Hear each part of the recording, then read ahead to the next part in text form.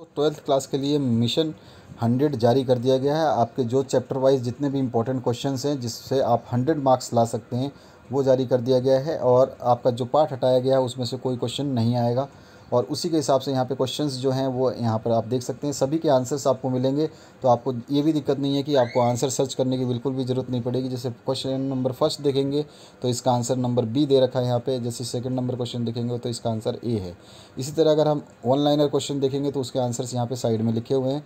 तो इस तरह से आपके चैप्टर को कवर किया गया है। सभी के आंसर्स आपको दिए गए हैं। इसके लास्ट में जब आप पीडीएफ के लास्ट में जाएँगे तो आपको इसका एक मॉडल पेपर मिलेगा, जिसको आपको तैयार करना है। पहले मतलब सभी को इसको पढ़ना है। सबसे पहले आपको ये चैप्टर्स को जितने भी क्वेश्चन हैं इनको तैयार कर लेने हैं।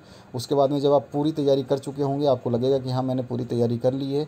उसके बाद में आपको उस मॉडल पेपर को उठा करके सॉल्व कर लेना है एग्ज़ाम से कुछ दिन पहले। कुछ दिन पहले आपको एग्ज़ाम से, यानी कि लगभग एक से डेढ़ हफ़्ते पहले आपको एग्ज़ाम से इसको सॉल्व कर लेना है। आपके एग्ज़ाम जो है पोस्टपोन्ड की न्यूज़ अभी फ़िलहाल नहीं आ रही है। आज का न्यूज़ जो हमने देखा तो आज की बताई गई है कि आपके पोस्टपोन करने का कोई इरादा नहीं है बोर्ड का और बोर्ड जो है संभावित तिथि को, यानी कि छः मई को आपका जो एग्ज़ाम डेट डिक्लेयर किया गया, उसी दिन आपके एग्ज़ाम शुरू किए जाएँगे। तो आपको थोड़ा सा सावधानी बरतनी होगी कि आप सोच रहे होंगे कि कोरोना की लहर है तो दूसरे बोर्ड जो अपने एग्ज़ाम कैंसिल कर रहे हैं, आगे पोस्टपोन कर रहे हैं तो आपका भी हो जाए। तो इस चक्कर में रह कर के पढ़ाई मत छोड़ना और पढ़ते रहना।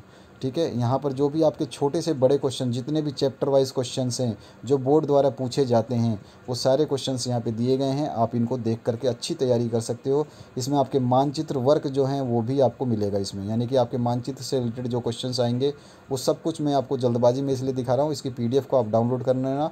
उसका पासवर्ड मैं बता देता हूँ। इस पीडीएफ का जो पासवर्ड है, उसको डालने के लिए आपको वन टू वन टू और वन टू ये बार आपको पीडीएफ में डालना पड़ेगा तो आपका पासवर्ड से ये पीडीएफ खुल जाएगी। यानी कि बारह बारह बारह आप डालोगे, एक बार में पूरा डालना one, two one two one two one two one two one, two. ये पासवर्ड है पीडीएफ का, इसको आपको डालना है। तो आपका पी खुल जाएगा। और इस पूरा का पूरा पीडीएफ को आपको प्रिंट आउट कराना पड़ेगा। मोबाइल में पढ़ना चाहोगे तो मोबाइल में आप तैयारी नहीं कर पाओगे। मोबाइल से पढ़ना आसान नहीं है। जो मोस्ट इंपॉर्टेंट क्वेश्चन हैं, उन पर आप टिक लगा लो। जो याद नहीं हो रहे हैं, उनको रेड मार्क कर लो। इस तरह से आपको जब इसको प्रिंट आउट कर लोगे तो आपको दिक्कत नहीं होगी। और आसानी से आप, जब आपके एग्ज़ाम होने वाले होंगे, उससे पहले कौन से क्वेश्चन को ज़्यादा पढ़ना है, कौन से क्वेश्चन को कम पढ़ना है, वो सारी चीज़ें आप आसानी से टिक कर सकते हो। तो इस चीज़ को आपको ध्यान रखना है।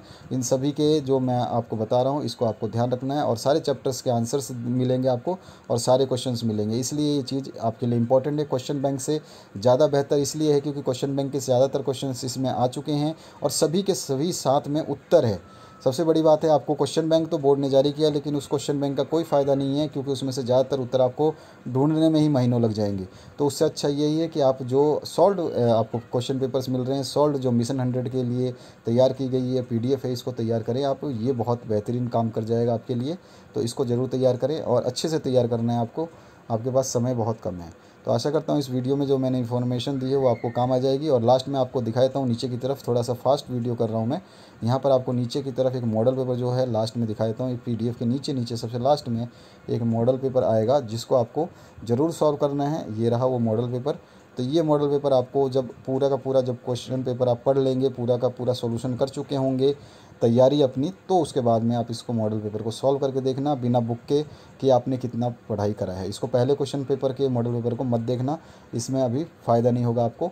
नहीं तो क्या है आप पहले इसको ही सॉल्व करने लग जाओगे और आपका टाइम वेस्ट हो जाएगा। सबसे पहले आपको तैयार करना है अपने आप को। तैयार करने के बाद में इन क्वेश्चन को जब आप लेके बैठोगे इस मॉडल पेपर को तो आपको सॉल्व करना है। आप देखोगे कि आपने कितने अच्छी तैयारी करी है, क्या आपने जो क्वेश्चन पढ़े थे, उसके हिसाब से ये मॉडल पेपर सॉल्व कर पा रहे हो तो इससे आपकी तैयारी का आपको अंदाज़ा लग जाएगा। Thank you very much share ज़रूर करें अपने दोस्तों के साथ जो भी मीडिया आप यूज़ करते हैं व्हाट्सएप फेसबुक या फिर Telegram thank you very much once again